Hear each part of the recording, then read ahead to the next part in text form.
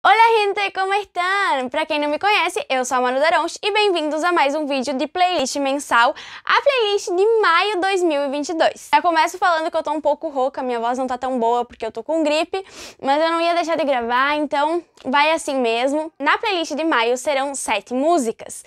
E o que acontece? As primeiras aí são umas que eu ouvi muito mesmo no mês de maio, e algumas são lançamentos mais recentes, que por mais que fa faça até dias que lançou, eu já ouvi mais do que muitas outras músicas que lançaram no início do mês. Esse mês de maio eu estive bem desatenta aí com os lançamentos.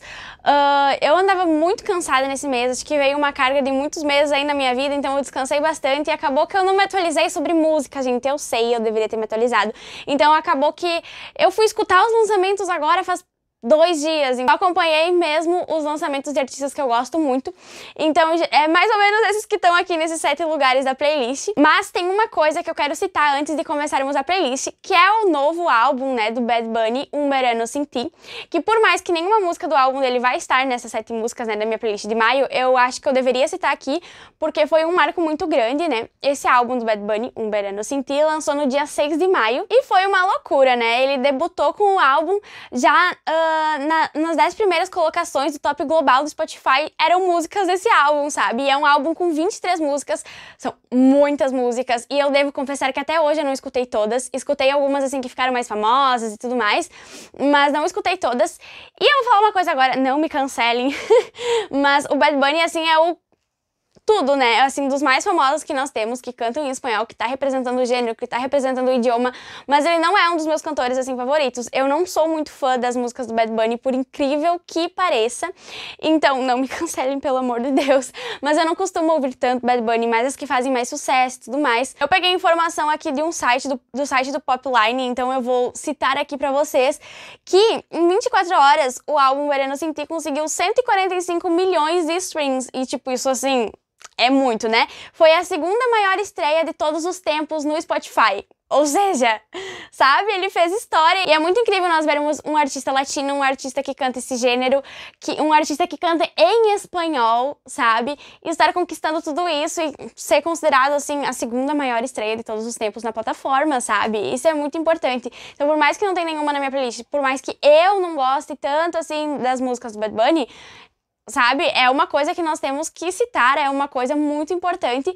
E como eu falei, eu não sou muito fã, mas eu escuto, tem várias deles que eu escuto, né? Não é que eu não gosto do Bad Bunny. Então, por mais que não vai ter nenhuma na minha playlist, porque eu não cheguei a escutar tanto esse mês, né? Mas deveria ser citado. Então, está citado e agora vamos oficialmente para a playlist de maio 2022. Em sétimo lugar, nós temos Hasta los Dientes, da Camila Cabello, com a Maria Becerra.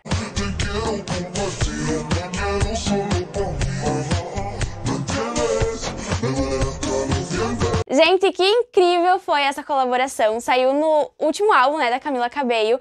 E, tipo, na primeira vez que eu ouvi, eu fiquei um pouco em choque, porque eu tava esperando outra coisa, né? Eu criei expectativa próprio em mim, sabe? Tipo, culpa minha mesmo que eu criei expectativa de um outro gênero, talvez.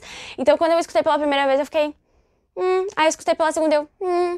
Aí eu fui escutando eu, meu Deus, que música incrível, maravilhosa. Só que eu escutei até que ela pouco, sabe? Escutei pouco essa música antes de ter lançado o clipe. Então agora, acho que foi na última semana, nas últimas duas semanas, não sei. Lançou o clipe e, gente, eu amei tanto, sério. Eu, acabou que eu comecei a gostar mais ainda da música. Eu amei a música. É como eu falei uh, me surpreendeu, né? Porque eu tinha criado expectativa, acho que mais de um urbano, alguma coisa assim. E é uma música que é mais um pop, não sei explicar, enfim. Mas tem aquela pegada latina. Ai, tá muito bom, sério, eu amei a letra. As vozes casaram muito, Camila e, e Maria. Ai, ficou muito bom. E o clipe, eu amei o clipe, muitas cores, assim, cenários, sabe? Elas com as perucas, o estilo, assim, que, que remete mais a outras décadas ficou muito bom, eu achei... Ai, sério, eu amei tanto, então por isso que tá aqui na playlist. Em sexto lugar, nós temos Te Mentiria Remix, do Luke Ra com o Rusher King.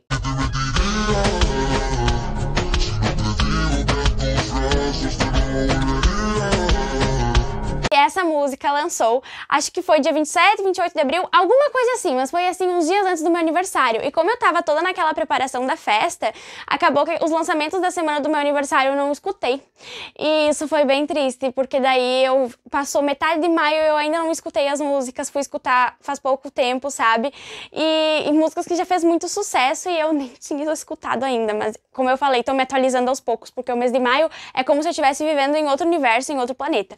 Mas essa música ficou muito boa. Gente, sério, eu comecei a viciar nela vendo posts nas redes sociais, porque uh, stories, posts no feed que colocavam aquela parte que, que ficou mais viral, que foi uma parte que o Rusher canta uh, uh, Te mentiria, pero voy a serte honesto Que te extraño, que te amo y que te pienso Como Duco, como Duco, creio que é assim Como Duco e Emília era lo nuestro e agora só quero tenerte lejos. Ah, é alguma coisa assim, talvez tenha cantado errado. Mas essa parte é muito, tipo, pegajosa, sabe? Chiclete que fica na cabeça. E tava em vários lugares, em várias redes sociais, nos stories, no feed. E aí eu fiquei, meu Deus, essa música ficou me perseguindo, essa parte do Rusher. E eu viciei tanto nessa parte. E eu falei, é, quando eu fui me atualizar, eu pensei, vou começar com essa, porque eu tô vendo tudo que é lugar. Eu escutei, eu amei o resto da música. É uma música muito boa. E o clipe tá muito maravilhoso, porque eles gravaram em Paris, tipo que produção, né, meus amores?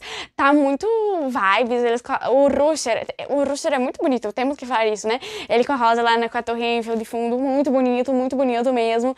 Então, assim, o clipe tá bom, a vibe da música é muito boa, as vozes muito boas juntos, partes, assim, chiclete. Ai, sério! Amei, amei demais essa música, tô muito viciada nela, por isso que ela tá aqui. Em quinto lugar, nós temos aí um lançamento mais recente que é Paris, do Morat com o Duque.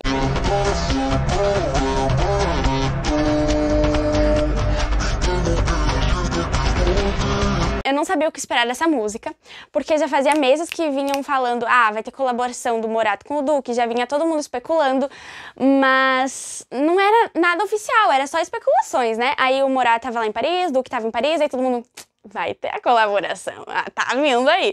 Só que ninguém tinha 100% de certeza, né? Até que eles anunciaram que realmente era Morato e Duque. Mas desde as especulações eu já tava assim, ó, como assim? Como? Entendeu? Morato tem um som muito próprio deles, né? Eles cantam folk pop, mas é tipo, é, é, é Morato. Tu escuta, isso aqui é Morato. Ninguém canta igual, ninguém faz igual, entendeu? Aí Duque é todo do trap, e, entendeu? Tipo, uou. E Morato é todo rosas, flores, coisas bonitas, amor. O amor dói, mas ele é bonito, entendeu? Morato é muito isso. Então, tipo assim, sabe? Como é que vamos juntar? Eu tava todo momento pensando dessas especulações. Aí quando realmente oficializaram que ia ter o feat, né, que Paris ia ser um feat com o Duque, eu, eu continuei, meu Deus do céu, como é que eles vão encaixar isso? Ou o Morato vai cantar trap, eu fiquei, né, complicado de imaginar. Ou o Duque vai cantar o estilo do Morato, só que eu também não consegui imaginar. Mas provavelmente, né, como a colaboração é, do, é o, o Duque com o Morato, era meio provável que o, que o Duque que ia cantar o ritmo deles, né? Mas eu ainda tava um pouquinho assim, hum, será? Mas enfim, ficou muito perfeita, porque começa bem calma, parece ser uma música muito triste, aí já vira aquele ritmo morado que tipo, ah, pra cantar todo pulmão, sabe? Usou, eu acho lindo, maravilhoso. Aí o que que acontece? O Duque uh, entra com uma parte de trap, realmente deixaram o estilo, eu achei isso muito legal, porque é uma colaboração dos dois, então tem o estilo dos dois. O Duque sim cantou o estilo do Morato, mas não ocultaram a parte, tipo, esse aqui é o Duque numa música, sabe? Deixaram um verso, um, né, uma linha de trap pro Duque, que a música tá bem estilo Morat e do nada entra o Duque cantando um trap. Só que ficou muito natural e eu tava com medo de que ia ficar uma coisa muito estranha, mas ficou muito natural a entrada do Duque na música fazendo um trap. E desse trap do Duque já entra no ritmo Morat e ele canta o refrão também. E, gente, eu fiquei chocada porque ficou muito natural, sabe? Aí a parte do clipe, eles também gravaram lá em Paris. Olha só que chique, dois clipes aqui nessa playlist que foi gravado em Paris. Ai, tão muito chique, nossa senhora. Mas enfim, uh, aí a parte do clipe que daí junta, né, o Morat com o Duque, eles estão juntos, a energia deles casaram, casou muito bem, sabe?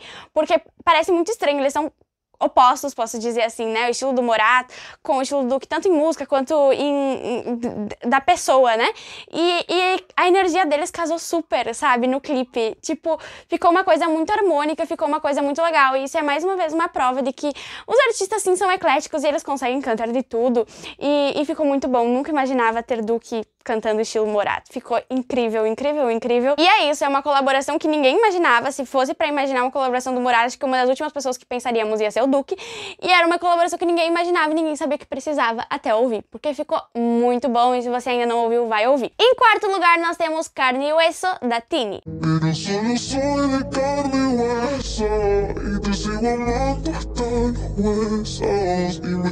Ai, gente, eu tava com tanta saudade da Tini cantando baladas, cantando música pra gente sofrer, pra gente chorar. Mesmo sem se identificar, a gente sofre, porque é, é triste a história, entendeu?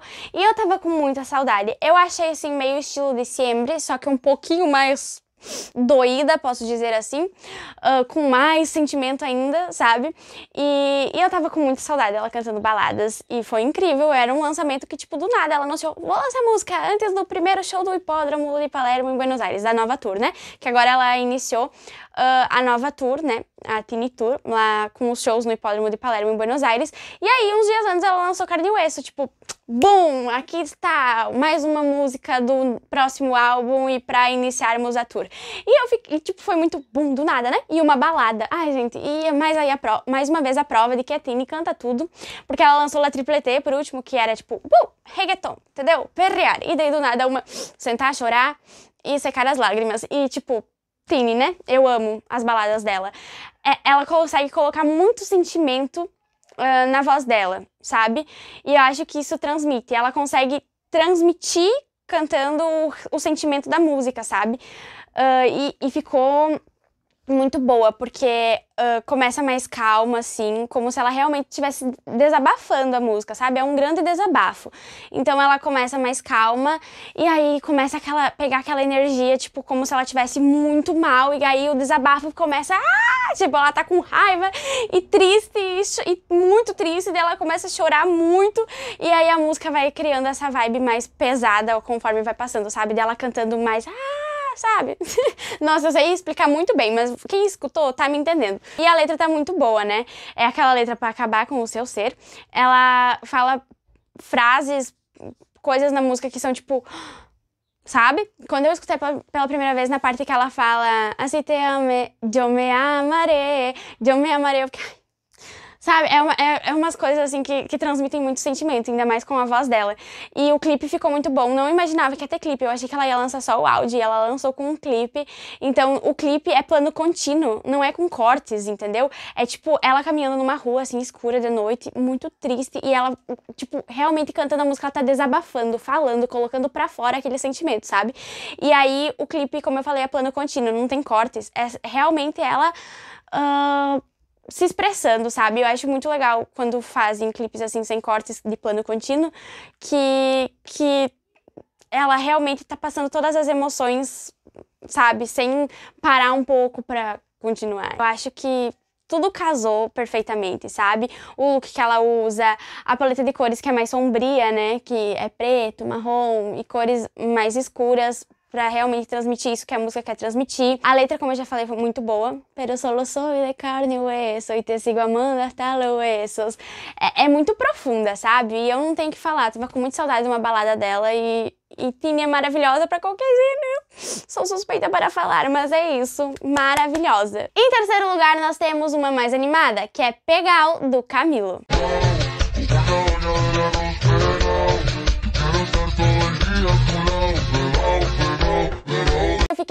Última semana com o anúncio do Camilo que ele vai lançar uma música por mês até setembro. E em setembro lança um novo álbum, né, completinho, que é De Adentro pra Fora. E aí vai começar oficialmente também a tour, que vai passar pelo mundo todo. Inclusive, estão especulando que ele vai vir pro Brasil no início de 2023. Não sei se vocês estavam sabendo, mas o fandom do, do Camilo aqui no Brasil tá comentando. Se é verdade, da onde vem a informação, não sei. Vamos aguardar. Mas Camilo no Brasil, quero. Se eu vou, não sei, mas eu quero. E, enfim, né? Estamos nesse, nesse. Ai, Tini lançando músicas porque vai lançar álbum, Camilo também. Ai, gente, eu amo é, essa energia, sabe? De termos sempre música nova, ainda mais esses que são cantores que são dos meus favoritos, né? E, enfim, uma música por mês, ai, eu necessitava. E Pegal é um, um, uma cúmbia, é, é, é um ritmo. Ai, Camilo sempre fazendo ritmos diferentes e ritmos gostosos, leves, que dá vontade de dançar, dá vontade de sabe, aproveitar, viver, sabe? E, e, te deixam feliz. Eu amo isso. E Camilo é arte, né? O clipe de Pegal, uh, ele fez em casa e começa de uma maneira muito. Ai, gente, tem muita coisa pra falar de Pegal. Começa, né? Ele conversando com a aluna e com a Índigo no colo, porque agora Camilo é papá, gente. Então ele com a, a Índigo no colo, aparece os pezinhos tão bonitinhos. Eu não vejo a hora de ver a cara dela pra ver se ela se parece mais com a aluna ou com o Camilo. Mas enfim, começa assim. E aí um, a aluna ainda fala, né? Vamos uh, outro clipe gravado em casa. E ele, ah, vamos fazer uma coisa diferente. Tipo assim, o Camilo não é a primeira vez que grava clipes em casa e ficam perfeitos. Ele é arte, como eu costumo falar. Mesmo gravando em casa, os takes ficam muito bons, uh, fica uma energia gostosa e o Camilo tanto nos clipes quanto em tudo que ele posta e tal, né? Ele mostra, ele valoriza muito as coisas simples da vida. Ele mostra que as coisas simples da vida têm o seu valor, entendeu? Então, tipo assim, eu acho isso uma das coisas mais lindas no Camilo. Uh, uma das mensagens mais lindas que ele passa, sabe? E o clipe de Pegal foi gravado em casa e ficou perfeito, gente. Ficou lindo, maravilhoso.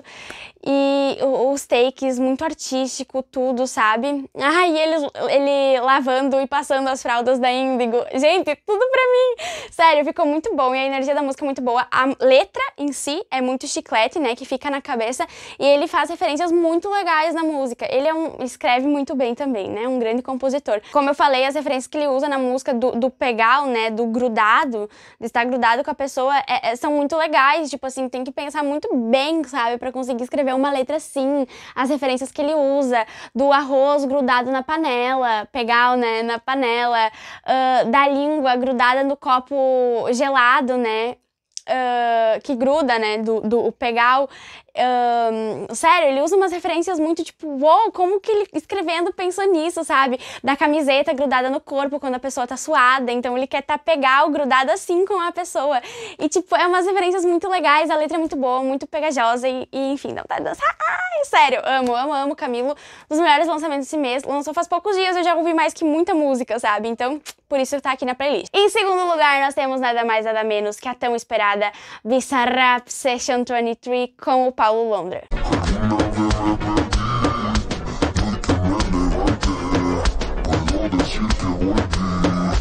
Essa session do Bissa Ai, meu Deus, por onde vamos começar? Enfim, lançou um dia depois, eu acho que eu gravei o vídeo de playlist de abril, por isso que não entrou para a playlist de abril, né? Lançou ali na última semana do mês e eu já tinha gravado a playlist da, uh, do mês de abril, por isso que não entrou. E deixei pra de maio, inclusive avisei, quem me acompanha lá no Insta, avisei que ia entrar pra de maio. Eu escutei muito, por isso que tá em segundo lugar, né? Foi uma das que eu mais escutei nesse mês. E que, que tudo, né? Primeiramente que o Bissa tava lançando as sessions e tinha ficado sem a número 23, né? Uh, e aí, todo mundo criava especulações do que poderia ser. Todo mundo sabe que o Paulo usa esse número, então tava todo mundo, hum, é do Paulo, mas ninguém tinha certeza. Até que, né, Paulo voltou a cantar, lançou Planar, lançou Chance, e aí a session com o Bisa, todo mundo sabia que eles tinham gravado. E cadê, cadê? Pa quando? Pa quando? Quero. E aí, finalmente, eles lançaram, inclusive eles colocaram lá no Instagram uma foto, né? E anunciaram que realmente a, a, a Session 23 ia ser pro Paulo e que se chegasse a um determinado número de comentários eles já iam lançar. Eu não lembro quantos, foi 23 milhões, eu acho. Gente, eu perdão, eu esqueci, eu vou até olhar aqui para mim não falar coisa errada, mas eles colocaram uma meta, né, num post lá do Instagram de alcançar tantos comentários e no momento que que alcançasse, né, o número, eles lançariam a Session. Deixa eu ver aqui. Foi 23 milhões, meu povo. É, eu não tava errada, eu sabia que, que ia ser o número. Foi 23 milhões de comentários. Gente, em questão assim de acho que meia hora, uma hora que eles colocaram o post, já tinha 4, 5 milhões de comentários. Era tipo até os artistas comentando. E foram muito engraçados os comentários. Quem acompanhou, gente, eu dei muita risada. Litkilla tava lá nos comentários uh, procurando uma moto para comprar. A Emília tava colocando as vogais nos comentários. Enfim, foram muitos comentários engraçados quem acompanhou aí. Eu comentei muito, todo mundo se juntou pra comentar muito. Não consigo dizer certo pra vocês, porque, gente, minha memória é muito fraca, eu não lembro. Mas acho que foi em 24 horas, eu acho que, ou até menos, acho, enfim. Lançaram um dia de noite, no outro dia de noite já saiu a session. Enfim, foi alguma coisa assim. Conseguiram atingir os 23 milhões de comentários muito rápido, parecia ser uma coisa bem impossível, que demoraria dias pra alcançar. Mas o povo se uniu, porque o povo queria essa session entendeu? E conseguiram os 23 milhões de comentários. E aí saiu e, né, gerou tudo que gerou. Foi milhões e milhões de visualizações em 24 horas. Agora, gente, faz três semanas, mais ou menos, que saiu e já tá com 64 milhões de visualizações. Então, tipo assim, fez história. Foi, tipo, todo mundo comentando sobre isso, em tudo que é lugar. Uh, o que eu tenho para dizer sobre? Eles pensaram muito também, porque uh, no vídeo, né, o climatizador, se vocês olharem, tá com a temperatura no número 23. Eles cuidaram de todos os detalhes, meus amores. E o que eu tenho para falar da letra? Maravilhosa. Porque, assim, é um desabafo do Paulo. Dá pra perceber que ele tá desabafando, sabe? Ele tá falando tudo que ele passou nos últimos tempos que ele não pôde cantar, né, nos últimos anos, ele tá desabafando sobre o que aconteceu e tudo mais, sobre o que as pessoas falam dele. E ficou muito bom, porque tem o rap, né, uh, e aí um, o, tem um refrão que é reggaeton pra perrear, aí já entra rap de novo, aí fica calmo, e enfim, ele desabafando, e reggaeton, e rap desabafando. Ai, meu Deus, tudo maravilhosa, ficou muito boa, de verdade, dá pra dançar, dá pra sofrer, dá pra gritar, tudo maravilhosa, ficou muito bom. Todo mundo tinha criado uma grande expectativa, tava todo mundo esperando e eles supriram todas as expectativas. E a letra ficou muito boa, né? Ele fala: Porque siento que eu alguma vez me perdi e hoje que me levantei, puedo decir que volvi. Eu achei isso incrível. Agora que eu me levantei, eu posso dizer que eu voltei e Paulo Londra voltou pra música, meus amores. E o melhor de tudo que nós temos que citar é que no final ele fala o que nós esperávamos tanto escutar depois de tantos anos. Leones com Flow, Paulo Londra. Tava todo mundo esperando isso, ele lançou Planar. Aí ele não falou, todo mundo ficou meio triste, porque na música de estreia dele, eu, isso foi, eu já comentei com vocês, né? Acredito que foi um erro, entre aspas, ele não ter falado em Planar. Aí depois ele logo lançou Chance. Nós ele vai falar, não falou. Ele deixou, mas querendo ou não foi bem pensado, né? Tava todo mundo esperando a session com o Bissa e ele falou: "Agora eu voltei de verdade, tô aqui lançando uma session com o Bissa e agora eu vou falar pela primeira vez depois de tanto tempo". Aí ele falou: "Leones com Flow, Paulo Londra". E foi uma das coisas que as pessoas mais sabe, fizeram muito meme, tava tudo, fizeram muitos vídeos no TikTok, tipo, quando o Paulo falou Leones com Flow, Paulo Londra, tava todo mundo esperando por isso. Então, acredito que talvez tenha sido pensado, talvez, não tô falando com certeza, tô falando do que eu tô imaginando. Talvez realmente tenha sido pensado ele voltar a falar o bordão dele na session com o Bissa, que também era uma coisa muito esperada há tanto tempo. Foi em algumas horas, ou no outro dia, não sei, já alcançou lá o top 50 global do Spotify, ficou em segundo lugar, bateu vários recordes, todo mundo tava esperando, todo mundo tava falando disso, ainda tá falando disso. Enfim, né? Maravilhosa, escutei muito. Ele lançou uns dias antes do meu aniversário, foi maravilhoso na minha festa de aniversário poder escutar e gritar Paulo com as minhas amigas. Enfim, maravilhoso. Em primeiro lugar, nós temos La Triplete da Tini.